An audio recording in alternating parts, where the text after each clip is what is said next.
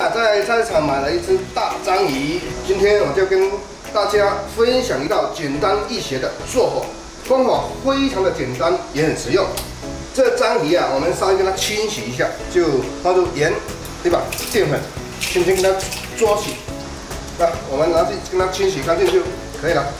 将清洗好的章鱼下锅，放入两个八角，几个香菜头，别姜多一点的蒜，还有几片香叶、干辣椒，一勺的生抽，一勺的福建老酒，一点鸡精，最后来一滴面糖，哎，提前稍微拌一下。